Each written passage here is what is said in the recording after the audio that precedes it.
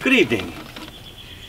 As a photographer, a person who photographs many things and shoots lots of photographs, I'm frequently asked, how can I, how should I edit my photographs? And I have a technique that's foolproof and I'm going to show it to you right now. It's so much easier than explaining it. The first thing is what you need is a good sized garbage can. And then you need some product.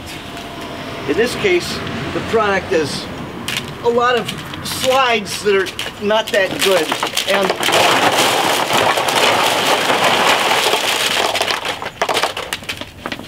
And, and you take the slides, and that's what you do with them, and you're done.